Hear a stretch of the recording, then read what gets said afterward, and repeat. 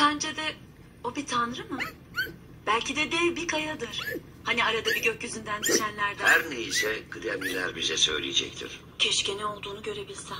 Bir yolunu bulup ona yakından bakabilirim. Valla biliyorsun ki bu yasak. Ama neden? Kime ne zararı olabilir ki? Kıdemliler tarafından onaylanmayan keşifler sistemimize aykırıdır. Belki de sistemimiz yanlıştır. Mala. Odana gidiyorsun. Hemen şimdi.